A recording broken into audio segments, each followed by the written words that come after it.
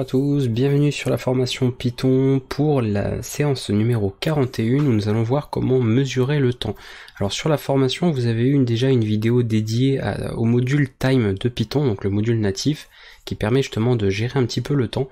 Mais là, il s'agit d'un module time qui appartient bien à Pygame, d'accord, qui est utilisable avec Pygame et qui n'a rien à voir avec le module de temps que l'on retrouve directement avec Python. Donc on va euh, mettre un petit peu, euh, en tout cas faire un peu le tour de quelques voilà quelques utilisations qu'on peut avoir de, ce module là, qui est très très important en tout cas pour Pygame, parce que vous verrez très très vite dans vos développements 2D, euh, vous aurez besoin justement de mesurer ce temps pour pouvoir par exemple gérer le taux de rafraîchissement de vos sprites, donc de vos images tout simplement que vous allez afficher, pour ne pas avoir des décalages ou des différences en fait de vitesse pour les animations par exemple ou toutes les, les affichages que vous voudrez gérer pour vos applications. awesome. Voilà, donc on va regarder un petit peu tout ça. Il y a beaucoup beaucoup de choses à voir sur cette vidéo quand même. Donc je ferai évidemment pas le tour de tout ce qu'il y a, mais au moins déjà de tout ce qui me paraît essentiel à connaître pour ce module-là. Alors pour commencer, je vous ai fait un petit code normalement que vous êtes capable absolument de comprendre par rapport à tout ce qu'on a vu précédemment. Euh, je me charge juste donc d'avoir euh, un ensemble de variables donc pour la résolution de l'écran, pour euh, une couleur bleue ici. Donc j'initialise ma fenêtre, pas de problème ici avec tous ces paramètres là. Ici je fais simplement un chargement d'une police de caractère propre au système. Je prépare un rendu de texte et j'affiche ce texte ici avant bien évidemment de, euh, faire l'affichage complet. Donc pour afficher la fenêtre et ensuite le texte par-dessus. Voilà, donc tout ce qu'on a déjà vu jusqu'à présent, pas compliqué. Donc ça donne au niveau affichage, histoire de voir un petit peu où on en est, ceci, d'accord? Voilà, donc ça, normalement c'est purement et simplement de la révision par rapport à tout ce que vous avez vu précédemment. Donc si vous êtes évidemment euh, perdu avec le code que vous voyez ici, n'hésitez pas à revenir sur les vidéos précédentes avant de regarder celle-ci. C'est qu'il y a encore des petites choses à voir pour continuer la suite de, du cours en Python. Donc on va fermer cette fenêtre là et on va passer du coup à euh, cette gestion du temps. Alors le temps, alors on a le, module hein, euh, au niveau de Python s'appelle time, d'accord Quand on fait un import time, comme on l'avait déjà vu justement dans une vidéo dédiée à cela, mais là on a un module propre à Pygame pour manipuler le temps. Et la méthode, en tout cas la fonction vraiment la plus simple qu'on va pouvoir utiliser pour ça, c'est de savoir le temps qui s'est écoulé depuis l'initialisation ici de Pygame. C'est-à-dire quand on fait un pygame.init, on initialise euh, Pygame et on peut éventuellement récupérer le temps qui s'est écoulé en fait depuis cette initialisation, d'accord? Et pour récupérer ce temps-là, alors on va le faire nous ici une seule fois. Je sais pas d'ailleurs si on verra un, rendu de quelque chose. On va faire par exemple un print, d'accord? Et on va demander d'afficher donc pygame le module time, ok, et c'est getTix, comme ceci. Voilà. GetTix va retourner un nombre en millisecondes du temps qui s'est écoulé. Alors si là j'affiche au niveau de ma fenêtre, on va se rendre compte de voilà, la valeur qu'il y a. Donc là il nous met 4, 400, pardon, j'allais dire 4000, je sais pas combien, 419 millisecondes depuis euh, l'initialisation de Pygame. Donc c'est bien une valeur en millisecondes, d'accord, depuis ici le pygame.init. Alors ça va éventuellement pouvoir changer en fonction, hein. c'est-à-dire que mon ordinateur va pas forcément euh, voilà, gérer l'affichage exactement à la même vitesse tout le temps, mais du coup on peut voir. Donc évidemment en fonction de votre machine, ça peut être plus ou moins long, d'accord Donc ça peut dépendre. Donc là c'est le nombre de millisecondes, donc on a évidemment même pas une seconde. Hein. Une seconde, je rappelle, fait 1000 millisecondes. Donc là on n'a même pas une demi-seconde en fait pour afficher euh, le rendu de la fenêtre ici.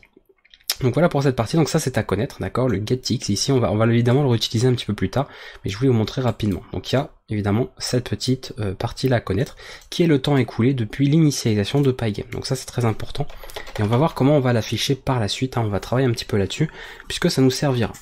Un autre point aussi, point essentiel, et ça on l'avait déjà vu bien sûr avec le module, euh, le module propre à, Python, c'est de mettre en pause en fait notre programme. Et pour cela, il y a deux possibilités avec Pygame. La première qui est en fait d'interrompre le processus, c'est-à-dire votre système d'exploitation, hein, c'est pas propre à un langage de programmation là, mais propre au système, Windows, Linux, Mac, etc., Android ou autre fonctionne avec un, une comment dire avec sur une base de processus. Pour tous vos programmes en fait, ils peuvent générer tout un tas de processus pour pouvoir fonctionner. Et c'est au système d'exploitation de gérer la priorité de ces processus, l'ordre dans lequel il va leur accorder en fait de la mémoire pour fonctionner.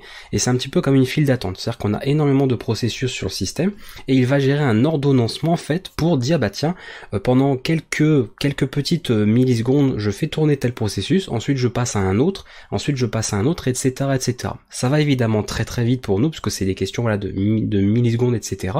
Et ça passe d'un processus à l'autre, et ça peut être des processus liés à votre programme, ici Pygame, comme ça peut être un processus lié à par exemple votre système Windows, votre système Linux, le fait par exemple que vous ayez un navigateur web ouvert, votre éditeur de code ou je ne sais quoi. Voilà, n'importe quel programme qui tourne actuellement en tâche de fond sur votre euh, votre système. Donc voilà comment ça fonctionne. Alors la première possibilité, c'est le processus qui euh, concerne ici notre programme Pygame de l'interrompre, c'est-à-dire de le mettre en pause, de le faire dormir. D'accord? On parle de faire voilà de mettre en de faire dormir en fait tout simplement le processus en question. L'avantage de cette, de cette technique, c'est qu'elle n'est absolument pas gourmande en ressources, d'accord? On va simplement mettre le processus en pause jusqu'à le réveiller pour reprendre la main sur notre programme. Et pour faire ça avec euh, le module time de Pygame, on a évidemment une, petite fonction pour ça. Alors, euh, comment je peux l'utiliser pour que ce soit intéressant à vous montrer? Donc on va par exemple ici, on a un texte en bleu, d'accord, on va faire ça. Et on va endormir pendant un petit moment. Donc on va faire par exemple un pygame.time, ok, c'est wait qu'on va utiliser, et wait prend une valeur en millisecondes, d'accord? C'est très important, ça travaille toujours en millisecondes. Donc si on veut une seconde, on mettra 1000, d'accord? Donc on va mettre 2000 pour avoir 2 secondes. Et ensuite, ce qu'on va faire, ici, alors, je vais peut-être euh, faire ça. Donc là, vous voyez, je ne le fais pas dans la boucle principale, hein, c'est pour voir. Donc on va endormir en fait le programme. On va refaire un rendu. On va faire ça comme ça. Et par contre, là, on va le mettre en rouge. Alors, on va faire red color 255. Alors, je vais mettre 00. Voilà.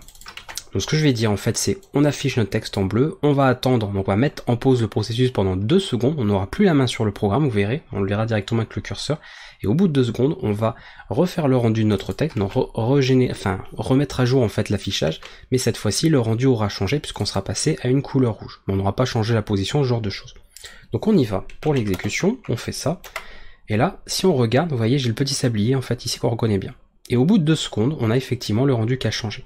Donc je n'avais pas la main, alors c'est assez rapide, j'aurais peut-être mettre plus. On va mettre par exemple 5 secondes. Hop, on verra mieux comme ça. Donc normalement quand il n'y a pas ça, vous voyez j'ai cette curseur là pour Windows, d'accord, avec la, petite flèche. Et au moment où le processus est endormi, eh bien je n'ai plus en fait accès directement à un programme. Vous voyez, je peux même pas en fait fermer le... Je peux pas forcément fermer le programme tout de suite. Alors des fois, bon, le, par contre le sablier, des fois il se met, des fois il ne se met pas. C'est assez étrange, bon ça c'est propre au système. Mais voilà, donc là je n'ai pas forcément la main, en fait, vous voyez, le processus est endormi, à ce niveau-là. Et au bout de 5 secondes, ça y est, je peux récupérer la main sur mon programme. Voilà comment ça fonctionne. Donc ça, c'est la méthode, on va dire, la moins gourmande. Elle n'est pas forcément très très efficace, parce qu'évidemment, elle ne consomme que très très peu de ressources, mais dans beaucoup de cas, elle sera largement suffisante. Si vous voulez juste endormir le processus, vous pourrez utiliser Wait pour faire cela. Maintenant, si vous voulez quelque chose d'un peu plus puissant, plus précis, vous pourrez utiliser la puissance de votre processeur, d'accord? Pour plutôt que ce soit simplement un endormissement du processus, on peut demander au processeur de votre ordinateur de mettre véritablement le programme en pause. Et là, ce sera beaucoup plus précis, beaucoup plus efficace, mais du coup beaucoup plus gourmand en ressources évidemment. Et pour cela, bah, vous avez juste à remplacer le wait par un delay. Voilà, donc ils ont fait ça très très simplement avec Pygame. C'est simplement un nom qui change, mais la fonction, la méthode fonctionne de la même manière. Une valeur en millisecondes pour le temps d'endormissement. Et là, si je fais ça, voilà, D'accord? Donc c'est la même chose, sauf que c'est le processeur ici qui a mis le programme en pause. D'accord? Donc c'est la même efficacité en fait. Alors là évidemment pour l'exemple que je vous montre, euh, on voit pas trop la différence parce que c'est juste un changement de couleur d'un texte, c'est pas quelque chose de très gourmand en soi pour même pour de la 2D, mais quand vous aurez véritablement à, développer toute une application graphique, un jeu vidéo, gérer des animations, vous vous rendrez compte je pense de la différence à ce moment-là, sur un cas beaucoup plus concret. En tout cas, sachez qu'il existe ces deux choses-là, wait et delay, pour gérer en fait une pause directement de notre programme de deux manières différentes. Soit la manière simplement qui va interrompre en fait le processus, le processus pardon, qui va l'endormir avec euh, comme un sleep en fait, hein. comme si on faisait un time.sleep avec le module euh, natif de Python. Et si vous utilisez delay, en fait, vous allez véritablement utiliser le processeur pour faire en fait eh bien euh, cette mise en pause on va dire de notre programme jusqu'à récupérer la main dessus donc reprendre en fait voilà bah, les commandes en fait de votre programme donc voilà comment que ça se passe, et c'était les premières choses que je voulais vous montrer. Donc on a vu getTix, d'accord, qui permet d'avoir le temps écoulé depuis l'initialisation de Pygame, et vous avez dit au début de vidéo qu'il allait y avoir pas mal de choses sur cette, sur cette séance. Et on a wait et delay qui vont permettre de interrompre, mettre en pause en fait le cours de notre programme, jusqu'à récupérer euh, bah, en fait voilà la, main sur ce programme là. Voilà comment ça fonctionne. Alors ça c'était pour, euh, pour introduire un petit peu cette vidéo et maintenant on va passer à une partie beaucoup plus importante et beaucoup plus intéressante, notamment comment mesurer le temps, parce que c'est un petit peu le titre de cette vidéo. Comment on va vraiment véritablement le mesurer, comment on va travailler là-dessus?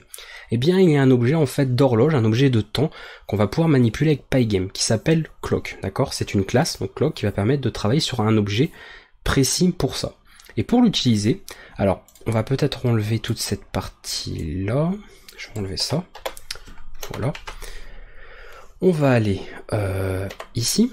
Donc on va initialiser bien, évidemment notre, Pygame, hein, ça on va le laisser. Euh, tout ça je vais laisser comme ça aussi. Et une fois que j'ai initialisé Pygame, je vais récupérer en fait dans une variable, donc je vais l'appeler colloc, je vais récupérer en fait euh, un objet de temps spécial pour Pygame. Donc on va faire pygame.time patel pardon, .time et clock. Il y a évidemment un C majuscule puisqu'il s'agit d'un constructeur. On appelle le constructeur en fait de clock. Et ça, ça va retourner donc un objet time en fait, donc euh, par rapport à pygame, on est bien sur du pygame ici, dans cette variable là. Donc vous faites ça une seule fois, et cet appel ici sera en fait, donc ici à faire au début, d'accord C'est pour en fait bah, un petit peu initialiser, on dit voilà, bon on veut un objet de temps qu'on va pouvoir manipuler, et ensuite par rapport à ce qui va se passer au cours de notre programme, donc ça va être surtout dans la boucle principale, on va pouvoir faire des choses avec cet objet clock, d'accord Il servira à quelque chose. Donc vous l'appelez comme vous voulez, un clock, timer, euh, vous mettez euh, n'importe quoi, encore une fois, c'est une variable, donc vous lui mettez le nom que vous voulez, à partir du moment où pour vous il est suffisamment explicite quand vous relisez votre code. Et à partir de là, sur Clock, on va pouvoir faire tout un tas de choses intéressantes là pour le coup. Et ce qui va être, nous, être intéressant, c'est tout simplement eh bien, de récupérer en fait, donc dans la boucle principale, c'est-à-dire dans la boucle c'est notre programme, eh bien de dire voilà, on va mettre à jour en fait ce temps-là. C'est-à-dire que là on a récupéré une première fois le temps, d'accord, que c'était écoulé par rapport à l'initialisation pardon de Pygame, et au moment où on va appeler une méthode et vous allez voir laquelle sur cet objet-là, eh bien on va mettre à jour en fait l'horloge, d'accord? Mettre à jour en fait cette valeur du temps qui s'est déroulé. Donc on parle bien de mesurer le temps ici. Et pour le faire, on va le faire ici. Ça, on euh, on en a déjà parlé précédemment, c'est une boucle infinie qui va s'exécuter donc à l'infini jusqu'à ce que l'on quitte le programme, d'accord, qui mettra fin à cette boucle. Donc à chaque tour de boucle, on a effectivement du temps qui se passe, d'accord? Et on va avoir un moment donné, quand on va vouloir par exemple afficher des suites d'images pour faire des animations, pour faire bouger voilà un, personnage ou euh, des décors, ou même simplement gérer du temps dans un jeu vidéo, pour gérer par exemple des cycles jour-nuit ou ce genre de choses, de savoir eh bien le temps qui passe, de le mesurer, de savoir le temps qui s'est passé, d'accord, entre un événement A par exemple et un événement B, ce genre de choses. Donc ici, ce qu'on va faire, dans la boucle principale directement, je vais dire, alors je vais simplement moi faire, donc reprendre mon objet ici, d'accord, et dire de mettre à jour, voilà, avec la méthode tick, d'accord, par rapport au temps qui s'est passé. Je vais faire ce genre de choses, d'accord. Et là où c'est intéressant, c'est que entre parenthèses ici, donc par rapport à cette méthode, vous allez pouvoir passer un nombre de frames, et ce qu'on appelle en fait un taux de rafraîchissement. Et ce taux de rafraîchissement, eh bien, pour ceux qui font du jeu vidéo, ça va vous parler, c'est tout simplement le nombre d'images que nous allons pouvoir euh, avoir par seconde. Pourquoi ce taux il est très important? Eh bien quand vous allez par exemple commencer à gérer de l'animation ou autre, donc si vous avez déjà commencé à le faire hein, par rapport aux vidéos que je vous ai montré, vous avez fait déjà vos petits programmes de votre côté, essayer d'afficher des petites images, de les animer, tout ça, je pense que parmi vous, il y en a peut-être qui ont dû voilà, remarquer qu'en essayant de déplacer des choses, eh bien des fois on avait des, des vitesses pas possibles, des objets qui déplaçaient à des vitesses énormissimes, on n'arrivait pas trop à contrôler ça. Et surtout, autre chose que vous avez peut-être remarqué, c'est que vous allez exécuter par exemple votre programme sur un ordinateur, il va avoir une certaine vitesse d'exécution, et puis vous allez faire tourner sur un programme plus sur un ordinateur plus puissant, et puis là la vitesse elle va complètement voilà s'envoler, ça va euh, décoller, votre programme va aller à une vitesse pas possible, ce sera évidemment ingérable, d'accord? Imaginez, je sais pas moi dans un jeu vidéo, ce que je veux pas vous faire l'exemple, ce serait beaucoup trop long évidemment, euh, je sais pas moi vous avez par exemple un, un vous, vous devez tirer sur un monstre, d'accord, par exemple dans un jeu, et le monstre se déplace de manière aléatoire. Bien sûr, on va dire un PC assez modeste, bah, le monstre va se déplacer par exemple, si on, je montre avec mon curseur à cette vitesse-là, d'accord? Donc ce sera assez, on va dire, on pourra facilement le suivre pour essayer de le viser et lui tirer dessus. Et puis quelqu'un qui va avoir un ordinateur plus puissant va se retrouver avec le monstre qui va se déplacer tellement tellement vite qu'il sera impossible de le toucher, d'accord? Ce sera absolument injouable. Et quelqu'un à l'inverse qui aura un ordinateur vraiment très très faible en, en puissance, eh bien là on va avoir un lag en fait, c'est-à-dire que ça va se déplacer tellement lentement qu'on aura l'impression que le jeu est au ralenti. En bref, tout ça pour vous dire qu'on va avoir des différences en fait de frame rate, donc ce qu'on appelle en fait les taux de rafraîchissement. Et ça d'ailleurs c'est un problème hein, pour ceux qui font du jeu vidéo hein, parmi vous. C'est quelque chose que vous devez souvent rencontrer dans certains jeux. Quand vous avez des, des chutes, qu'on dit des chutes de FPS, où normalement pour avoir un jeu un minimum fluide, on demande minimum du 30 FPS. Maintenant, on est même plutôt sur du 60 fps parce qu'on a des résolutions d'écran beaucoup plus grandes et du coup qui ont besoin de beaucoup plus de fluidité pour que à l'œil on ne se rend pas compte en fait bah, que ça lag en fait entre les, différentes images des animations. Et ça peut arriver, bah, des fois vous ayez des chutes de FPS à 20, à 10, etc. Et là, le nu on se rend compte. Et du coup, c'est pas agréable du tout.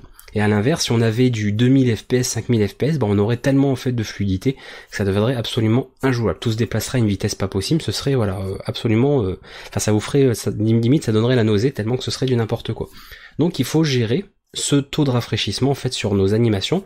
Donc là pour chaque tour de boucle, parce que ça cette boucle c'est bien, elle va s'exécuter à l'infini plusieurs fois, mais la vitesse à laquelle les tours de boucle vont se faire dépend de la puissance de votre ordinateur. Donc moi ça va s'exécuter à une certaine vitesse sur mon ordinateur, mais vous ce sera différent sur le vôtre. Et si vous passez votre programme à un ami ou autre, et eh ben lui il aura pas la même vitesse non plus. Donc on va avoir besoin de dire, tu mets à jour effectivement ce timer en fait, mais selon un certain taux de rafraîchissement. Tu vas pas le mettre non plus à jour, bah en fait, euh, s'il doit se mettre 1000 fois à jour dans la seconde, tu vas pas le mettre 1000 fois à jour en une seule seconde, et puis chez un autre que 20 fois et un autre 500 fois. Ce serait n'importe quoi. Donc ici on met le taux de rafraîchissement qu'on veut. Donc le minimum, hein, quand on veut quelque chose, un minimum fluide à l'œil nu, on mettra du 30. Et ça c'est pour dire qu'on aura un taux de rafraîchissement, en fait, bah, tout simplement de 30 images par seconde, ou ce qu'on appelle 30 fps, frame per second, d'accord? C'est vraiment un euh, nombre de, donc un taux de rafraîchissement, un frame rate, si on veut employer le terme anglais. Et si on veut quelque chose d'un peu plus fluide, ce qu'on retrouve maintenant beaucoup dans le jeu vidéo actuel, eh bien c'est du 60 fps. Voilà, donc on peut mettre ça comme ça. Voilà, donc on va mettre cette information ici. Et euh, ce qui peut être utile aussi, c'est de passer par une autre méthode de, notre timer qui va permettre bah, de récupérer justement le nombre de FPS. Donc c'est-à-dire que si on ne le met pas au départ, d'accord? Si admettons, je sais pas moi, je fais juste clock ici, ça on va le mettre en commentaire pour vous montrer. J'aurais peut-être dû faire dans ce ordre là d'ailleurs, mais c'est pas grave. On va faire un print, d'accord? On va mettre euh, alors, euh, je vais tiens, avec des, pour une fois, pour changer un peu, je vais écrire en f-string. Donc ça, f-string, c'est à partir de Python 3.6 ou 3.7, 3.6, j'ai, à chaque fois j'ai un doute. Donc si vous voyez que ça marche pas, vous cette syntaxe, bah, vous utilisez avec la méthode format hein, que vous connaissez pour du texte. Hein, je vous apprends rien normalement, euh, vous savez faire. Donc on fait ça, et puis on met par exemple, bah voilà, fps, ou alors même carrément, euh, voilà la valeur en FPS et puis on mettra ça comme ça. Et la valeur qu'on va vouloir en FPS, donc récupérer effectivement le taux de frame par seconde, ça va être donc mon objet clock, hein, je rappelle celui-là, ok Et dessus on peut utiliser une méthode qui s'appelle tout simplement getFPS. On peut pas faire plus simple comme nom, hein, voilà. Pygame et encore une fois, oui c'est ça, getFPS, voilà, ici. Donc ça va récupérer le taux en fait de rafraîchissement par seconde, le nombre de frames, donc d'images que nous avons chaque seconde. Donc on va faire ça. Je vais exécuter mon programme. Alors on va pas le voir. Et d'ailleurs j'aurais pu même faire... Euh, on, l'affichera éventuellement avec du texte, ce sera mieux. D'accord? Plutôt que l'afficher en interminable. Mais peu importe. Et là voilà. Donc là on, on voit du zéro parce qu'évidemment on n'a pas d'informations précisées. Donc, nous c'est pas ça qui nous intéresse. On va mettre par exemple... Juste ça. Voilà. Pas mettre d'argument par défaut. Et voilà. Et là vous voyez, bah du coup, voilà, on a complètement des valeurs bizarres. Alors je vais peut-être l'arrêter là. Voilà, donc vous voyez là on est carrément sur du 10 000 fps, on a un nombre absolument astronomique, voilà, qui est énormissime, qui est absolument ingérable. Donc ça, voilà, donc vous aurez peut-être pas forcément pareil selon l'ordinateur, etc. Donc vous voyez que là on a un gros gros souci, on n'a pas quelque chose de fixe, en tout cas de stable. Donc on va préférer évidemment gérer un 60 fps par exemple. Et là du coup on va pouvoir effectivement contrôler ce qu'on a. Voilà. Alors comme vous le remarquez, ce n'est pas pile à 60, d'accord? C'est pour vous dire en fait, puisque c'est comme ça, on va aller, en fait, on va limiter le nombre d'images à 60 en fait frames par seconde. Donc si des fois, bah, si par exemple vous avez trop de choses qui tournent sur votre système, bah ça va réduire. C'est pour ça que vous avez des fois des ralentissements sur un jeu vidéo. Si vous, en même temps que vous jouez à votre jeu vidéo, vous avez 15 000 logiciels qui tournent en même temps, euh, de la vidéo sur internet ou autre, il y a des chances que ça, ou alors un téléchargement en route, il y a des chances évidemment que ça ralentisse ce nombre de rafraîchissements. Donc là, ça vous dit que ça va en fait jamais dépasser normalement, bon sauf à quelques petits écarts près, mais ça va fixer en fait le nombre de, de frames à 60, d'accord? Donc on sera logiquement tout le temps au-dessus, euh, en dessous, ou pile à 60, ou légèrement au-dessus, mais on va pas voilà atteindre comme tout à l'heure des 10 000 de je sais pas quoi. Donc vous voyez là, comme le nombre en fait, bah, je n'ai pas précisé en fait de nombre précis, eh bien on va avoir en fait 60, d'accord, tours en fait qui vont se passer, 60 frames toutes les secondes. Donc c'est quand même pas mal. Hein. Alors comment on travaille quand même avec du, texte ici? On va le faire sur du texte. Parce que c'est pour ça aussi que j'avais mis ça, je voulais vous l'afficher directement sur du texte. Alors on a quoi? On a euh, juste euh, ça. Attendez, on va faire ça ici. Voilà. Je vais reprendre cette partie là. Alors ça, je le mets ici. Le problème, c'est que je vais devoir réafficher euh, window et j'ai pas mis du black évidemment. Alors on va refaire. Donc un peu tout cette vidéo, vous voyez, c'est assez, euh, assez complet pour le coup. Parce que je voulais pas non plus vous montrer forcément que dans un terminal.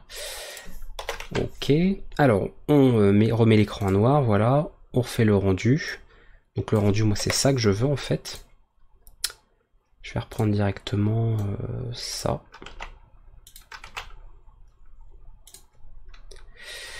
Alors là par contre on va le changer ici.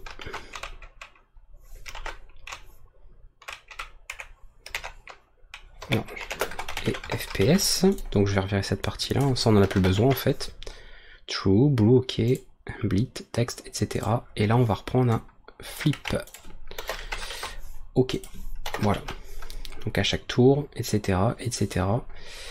Et cette partie ici. Donc normalement, mon texte doit être pris en compte. Oui, normalement, ça va être bon. Alors, black is not defined, évidemment. Si j'invente des noms. Ok. Donc on est reparti, on charge, et voilà. Donc on voit toute la valeur qui change. Alors là, c'est de plus en plus, enfin c'est rapide en fait hein, le changement. Donc et encore, j'ai limité quand même le nombre de le nombre, mais on peut avoir, vous voyez, un, taux de rafraîchissement qui va changer énormément et on voit que du coup là, notre variable s'actualise très très très souvent. Donc c'est pas forcément très pratique. Alors on va changer un petit peu ça, on va améliorer, et puis on terminera du coup cette vidéo, enfin pas tout à fait, mais on va terminer en tout cas notre vidéo avec ça, par rapport à un événement. Et en plus ça nous permettra de revenir un peu sur les événements et de rajouter d'en rajouter une couche.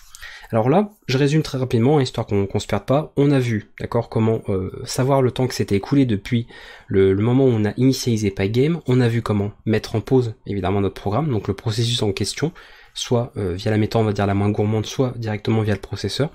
Et on a regardé ensuite comment manipuler notre objet, en fait, de timer, pour pouvoir, par exemple, manipuler, donc mesurer le temps et surtout contrôler le nombre de rafraîchissements qui se produisent pour en fait, ça à quoi ça sert?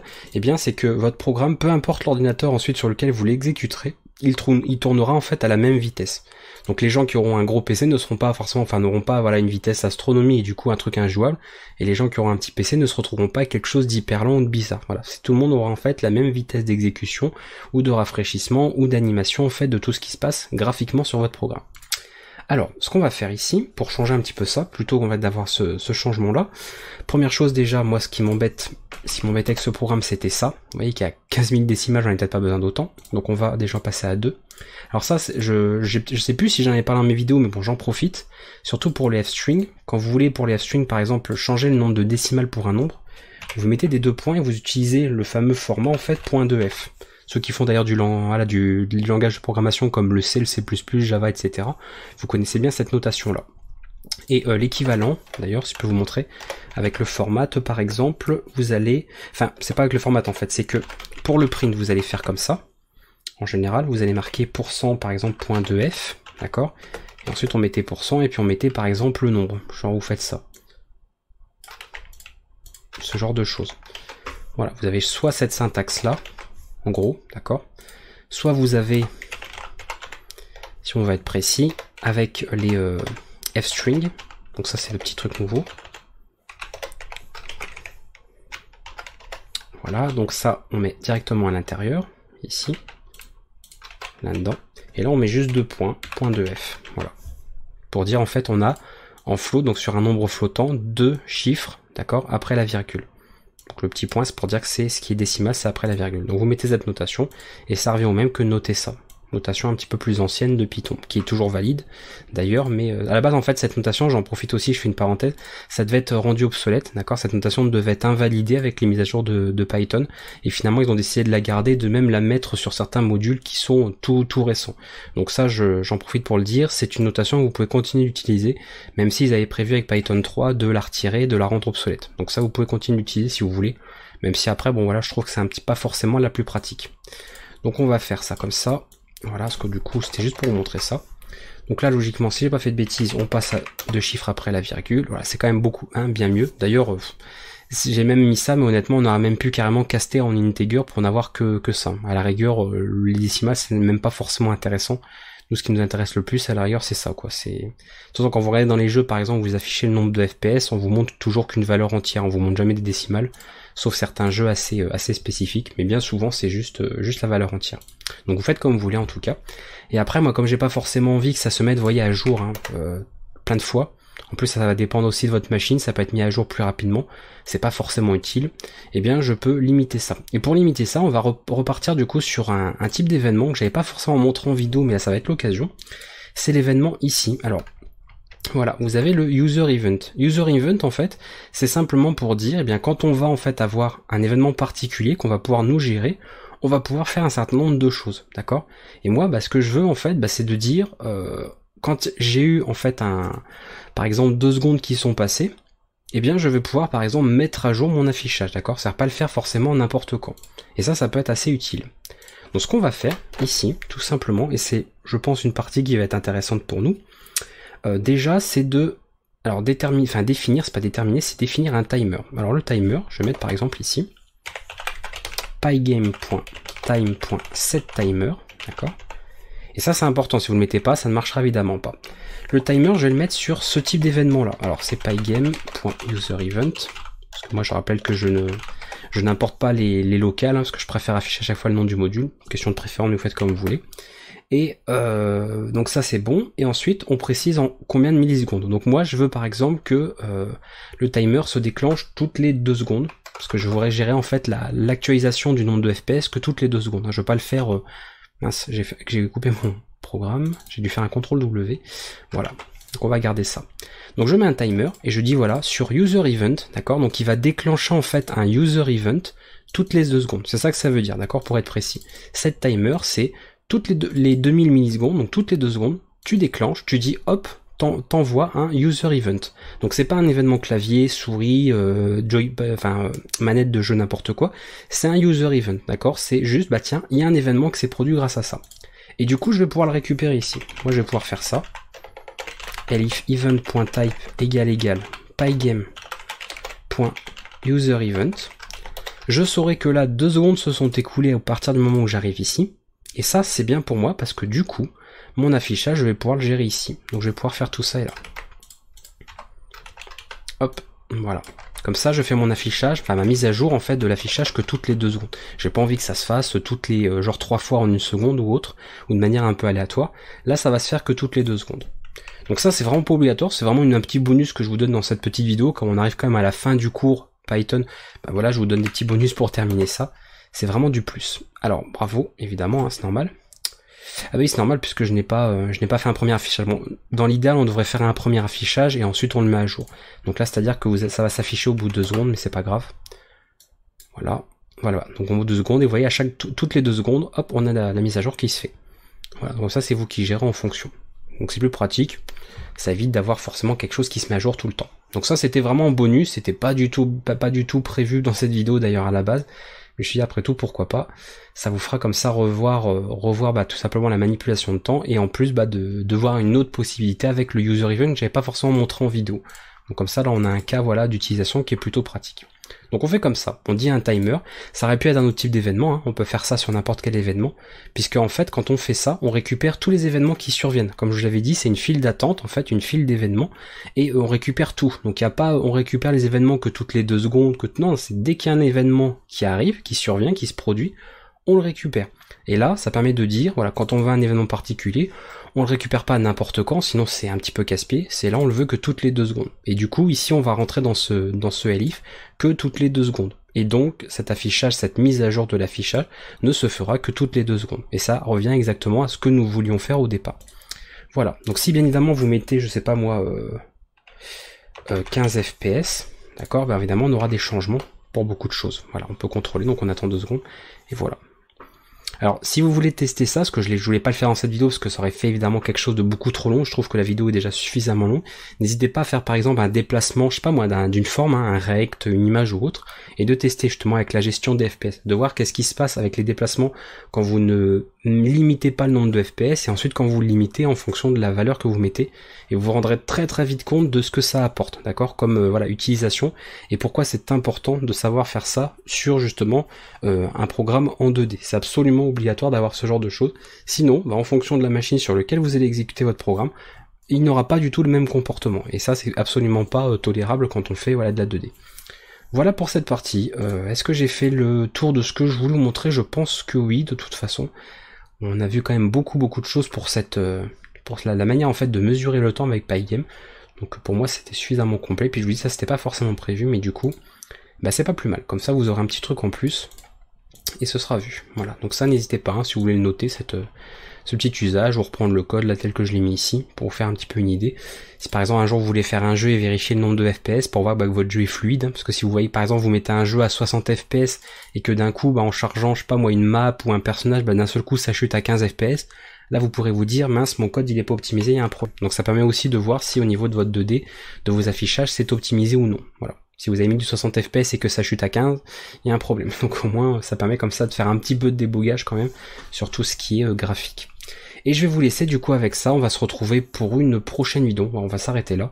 La prochaine vidéo donc ce sera la dernière du cours, avant évidemment la petite vidéo de conclusion habituelle, et on verra comment jouer du son. Voilà, je vais terminer le, terminer le, le chapitre Pygame et toute la formation sur Python avec euh, tout simplement une bonne vidéo, donc elle sera assez longue aussi, sur euh, comment bah, jouer des sons, voilà, on, jouera des, petits, des petites musiques, tout ça, pour voir comment manipuler ça avec Pygame. C'est très simple aussi à prendre en main, mais il y a quand même pas mal à voir, donc la vidéo sera, sera quand même pas mal longue mais au moins on terminera le chapitre avec ça. J'espère que ça vous a plu. Si vous avez des questions, des remarques, si vous avez des petites choses que vous n'avez pas forcément compris, qui sont un petit peu euh, compliquées à, assimiler, bah, n'hésitez pas à le, faire savoir dans les commentaires, je viendrai vous répondre. Et puis on se retrouvera du coup, enfin on va se retrouver hein, très très bientôt de toute façon pour euh, la prochaine séance sur euh, comment jouer des sons avec Pygame. Voilà, à bientôt tout le monde et on se retrouve du coup pour une prochaine vidéo sur cette formation. Ciao